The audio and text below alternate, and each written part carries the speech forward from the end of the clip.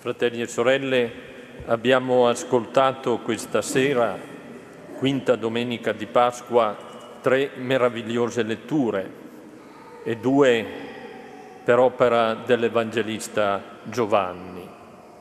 La, seco- la seconda lettura dalla sua prima lettera è il testo del Vangelo.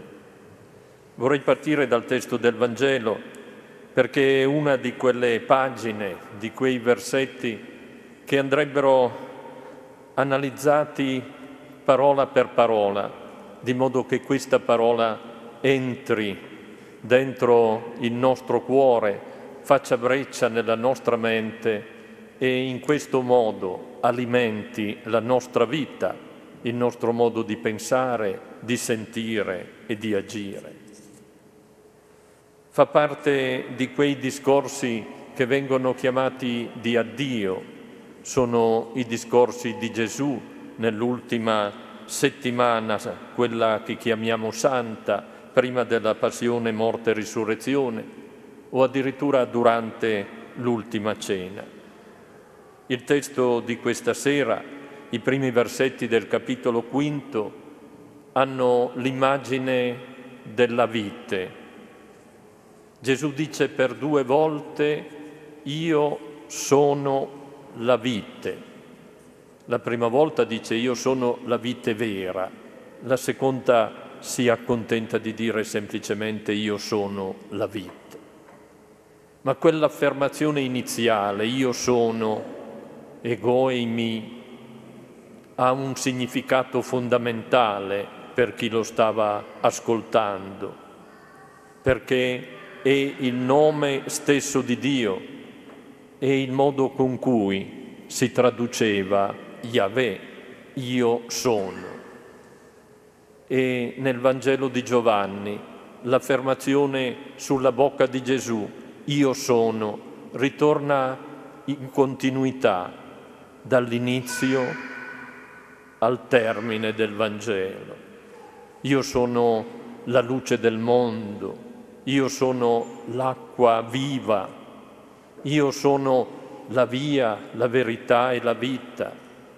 Domenica scorsa abbiamo ascoltato Io sono il buon e bel pastore, io sono la porta delle pecore e io sono, lo dirà anche di fronte a Pilato, interrogato su chi era e sulla verità. E questa sera utilizza l'immagine della vite. Io sono la vite. In qualche modo il Signore Gesù ci sta essenzialmente parlando di Dio, di chi è Dio e di come lo possiamo in qualche modo sperimentare e anche immaginare nella nostra vita quotidiana, nelle nostre giornate. C'è un particolare in questo testo che in genere tralasciamo, perché dopo aver detto io sono la vite, quella vera, aggiunge e il Padre mio è l'agricoltore, pater moi o Georgos, il Padre mio è l'agricoltore. Io provengo da un ambiente eh, e da un luogo dove si coltiva essenzialmente la vite e dove eh, l'industria agraria enologica è di alto livello. Ma in tutto l'ambiente mediterraneo, come ai tempi di Gesù, la vite era uno degli elementi più comuni e più conosciuti e lo conosciamo bene. Dire che il padre è l'agricoltore in qualche modo significa dire questo, a mio giudizio, che quando cerchiamo Dio vogliamo sentire la presenza di Dio al nostro fianco. Non abbiamo bisogno di guardare tanto in alto, di andarlo a cercare in chissà quali pensieri o sentimenti o desideri miracolistici. o pensarlo come colui che dall'alto controlla e cerca di guidare le sorti. Se Dio, Padre e l'agricoltore, e cura la vite e i tralci, vuol dire che sta esattamente al nostro livello. L'agricoltore non sta più in alto della vite, anzi, il più delle volte sta più in basso, ha sempre i piedi ben fermi sul terreno e si china sulla vite per togliere le erbacce che la infestano, per curare i tralci uno ad uno, fino al momento della vendemmia, quando raccoglie i grappoli.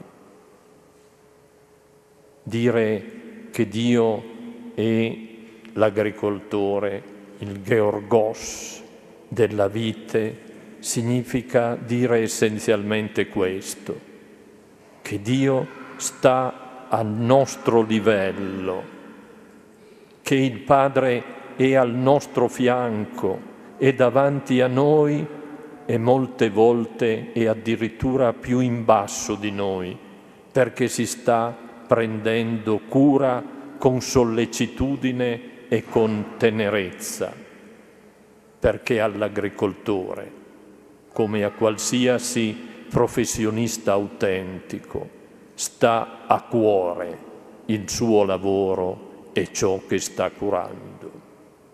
E a Dio, al Padre, sta a cuore infinitamente ognuno di noi, ogni essere umano. E al nostro fianco ci è di fronte, si china su di noi. Ogni volta che lungo la nostra giornata e la nostra vita viviamo momenti di gioia vera interna, scopriamo gesti di tenerezza e di accoglienza, sentiamo nel nostro cuore momenti di autentica felicità e di respiro, ma anche quando ci accorgiamo di certe sofferenze che tagliano, ma alla fine migliorano e ridanno vita, sicurezza e fiato, ecco lì è Dio, il Padre, l'agricoltore, che ci sta prendendo cura di noi, di me, di tutti. Ecco, in questa parabola c'è, a mio giudizio, una meravigliosa immagine di Dio che il Signore Gesù ci consegna, ma nello stesso tempo ci invita ad assumere quindi l'atteggiamento vero della fede di fronte a Dio Padre. E poi aggiunge l'altra immagine. Ecco, io sono la vite, sono la vite vera, allora rimanete in me rimanete legati a me. I tralci, se non sono legati alla vite, al ceppo, o non producono frutto, o alla fine sono destinati ad essere tolti, tagliati e seccare.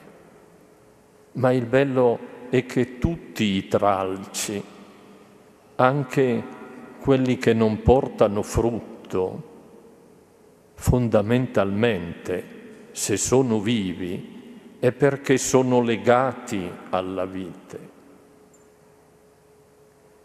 Anche in essi passa in qualche modo la linfa della vita, se no non ci sarebbero.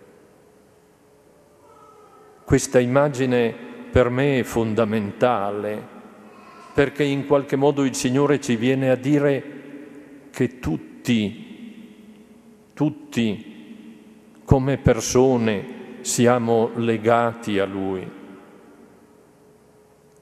che la nostra vita, per il semplice fatto che siamo entrati in questo mondo, che partecipiamo a questa umanità, in noi scorre la linfa che viene da Dio. Ma se poi non portiamo frutto, è forse dovuto non a Lui, ma a noi, al non apprezzare questa linfa che scorre dentro, al pensare ad altro. Ecco allora che veniamo tagliati fuori e mancherà il frutto. Ma che cos'è che rende questa linfa vitale e permette attraverso la potatura, la distinzione tra ciò che è positivo e negativo, tra il bene e il male che alberga comunque sempre nei nostri cuori e nel nostro pensiero. Che cos'è che permette di potare e di purificare e quindi di rendere il tralcio che siamo noi portatore di frutto e come dice il Vangelo di molto frutto e lasciarci purificare dalla sua parola. Per sette volte Gesù ripete in questi otto versetti il verbo rimanere e dice rimanete in me e la mia parola rimanga in voi. Questa è la linfa, la sua parola, che rende vitale la nostra esistenza e la rende capace di frutto e di eternità. E questa parola che purifica, pota e permette al frutto di crescere. E tra questi frutti il Signore ne indica alcuni, ne indica almeno tre. Il primo e la gloria di Dio Padre. Il cristiano, che lo voglia o meno, che lo sappia o meno, nella misura in cui permette alla parola del Signore di rimanere in Lui e di scorrere nella sua carne, glorifica il Padre, ne diventa testimone perché darà frutti di opere di carità e ogni opera di carità fatta a servizio è opera che glorifica Dio, perché la più grande glorificazione di Dio è compiere le opere di Dio e le opere di Dio sono carità. L'altro frutto è quello di poter chiedere ed ottenere. Qualsiasi cosa chiederete verrà fatto. È forse difficile credere a questa affermazione del Signore. Quante volte ci sembra che non sia stato così no nella nostra vita. Quante volte ci sembra di aver elevato preghiere e non essere state esaudite. In realtà Dio esaudisce sempre se scorre questa linfa nella vita nostra, ma esaudisce secondo i suoi tempi perché sa quando è il momento del bene ed esaudisce donando soprattutto lo Spirito. La frase corrispondente nel Vangelo di Luca, simile a questa del testo di Giovanni, è proprio quella in cui Gesù dirà e allora qualsiasi cosa chiedete Dio ve lo darà e non vi farà mancare il suo Spirito. E sarà quel suo Spirito che ci guarisce e ci porta a compiere opere di carità che modificano in bene la vita nostra, la vita dell'umanità, la vita dell'intera creazione. Ecco il secondo frutto del rimanere in Lui e far scorrere la linfa della sua parola nella nostra carne. E infine c'è un, un terzo frutto ed è l'ultima parola. Diventerete miei discepoli. Non si è discepoli in forma magica, casuale o semplicemente anagrafica, perché il nostro nome è stato scritto sui libri nel giorno del battesimo. Certo, senza il battesimo non ci sarebbe il dono della fede, ma non basta quello scritto per essere autentici discepoli, perché possiamo mantenere il dono nascosto e inutilizzato. Dobbiamo diventare giorno per giorno suoi discepoli e questo è possibile unicamente rimanendo unito a Lui e facendo scorrere nel nostro sangue la sua parola. Queste stesse affermazioni le abbiamo trovate in forma ancora per alcuni aspetti a mio giudizio più bella nel testo della prima lettura. Viene innanzitutto consegnataci una frase che per me è un po' il vertice del Nuovo Testamento e dell'amore di Dio immenso, di questo Dio che è l'agricoltore, colui che sta di fronte a noi e addirittura si abbassa per servirci, curarci e sanarci, attraverso l'opera della potatura della misericordia. Quando Giovanni dice non abbiate paura, anche se il vostro cuore, anche se il vostro cuore vi dovesse condannare, Dio è più grande del vostro cuore. Ecco, ricordarci questa affermazione credo ci aiuti ad uscire da ogni difficoltà. Ricordiamoci che anche se tante volte non riusciamo ad uscire dalla nostra coscienza perché ci sembra ci condanni, anche quando sappiamo di aver commesso peccati enormi, non dimentichiamoci che Dio è più grande e rivolgerci a Lui significa entrare nel cammino della verità e della vita. E per concludere, San Giovanni aggiunge il cuore dei frutti di questo rimanere legati a Dio. Questo è il comandamento di Dio, che crediamo nel suo nome e ci amiamo gli uni gli altri. Se vogliamo avere la sintesi della nostra fede, della nostra religione, del cristianesimo, sta proprio qui.